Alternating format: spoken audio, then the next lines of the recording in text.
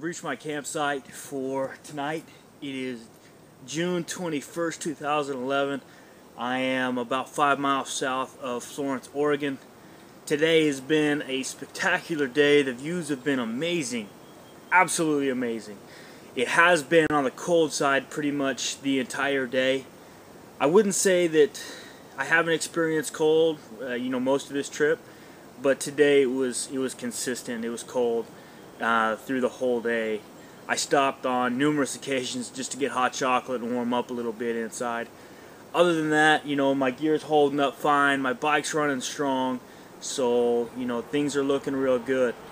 Uh, I plan on staying, I think, I think I'll plan on staying in Astoria tomorrow. I'm going to kind of map it out, see how far it is.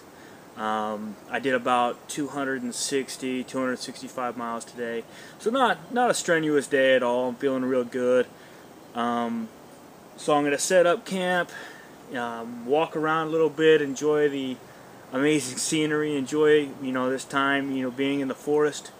So yeah, I'll set up camp. I'm gonna gather some firewood. I think probably first and foremost because I can set up in the dark. So I'll gather up some firewood and and go from there. All right. All right, I gotta say these woods are a little freaky even during the day. So I'm gonna do my best not to uh, cry myself to sleep in the fetal position, if you know what I mean. Anyway, you check this out.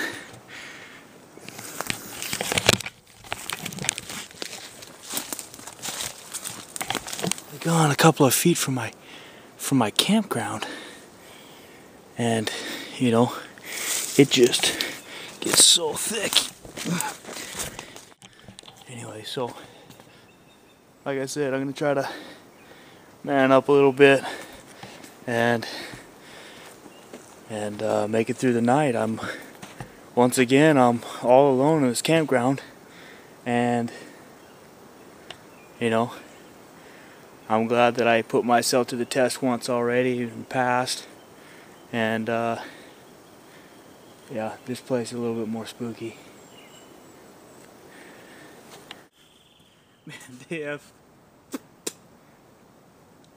oh, they have the biggest mosquitoes here.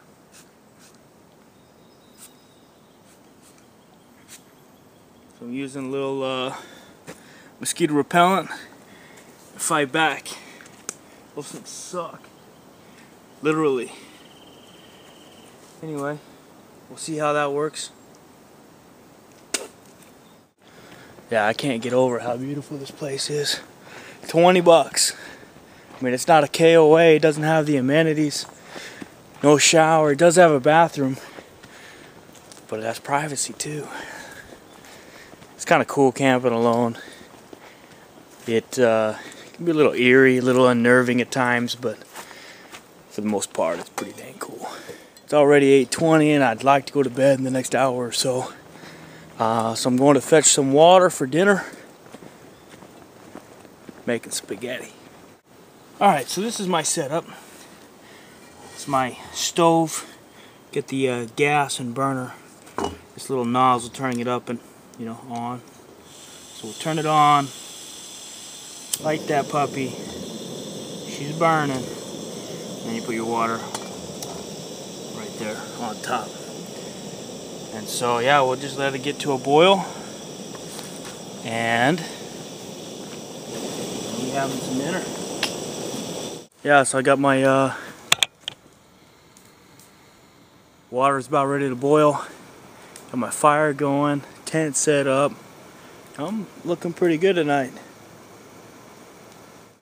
Alright, so it is now 9 p.m still semi-bright. My fire didn't really stay lit all that long even with the gas just because everything's so wet.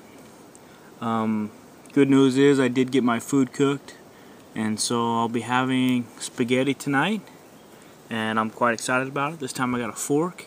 A couple of days ago, in fact when I was in Big Sur, I tried eating spaghetti with a spork. Um, that was difficult and not very fun at all. So happy happy to say that I now have a fork to, to eat my dinner with. Um, let's see, today, let's talk about today. Today I started in Eureka, California. Um, very, very cute little town. I, when I was coming through it, I stayed on the on the far north side of town. When I was coming through it, I was having some technical problems with my camera, so I wasn't able to really film any of it. And in the morning, I had intended to go back through town, you know, just drive through it once or twice and and uh, and get some pictures. However, that it didn't happen. When I left, I just totally spaced it, and I, you know, headed north. So yeah, that didn't happen. You know, the whole Oregon coast has just been beautiful. You know, it's been very, um, very entertaining, I guess you could say, um, to watch as I was driving through, you know, town after town and seeing coast, and then up into the mountains. It, you know, it it varies a lot. You know, one one minute you'll be right there on the coast, and then you're gonna shoot up into the mountains.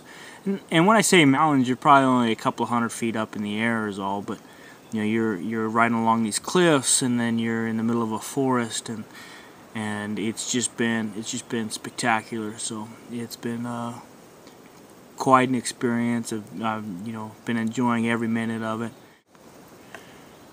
Alright so it looks like I ran my battery down almost completely so anyway. Thanks for joining me on my ride today. Uh, I had a great time. I hope you did too. Uh, I'm gonna call it a night. You know um, Day six in the books, day seven tomorrow. Stay tuned.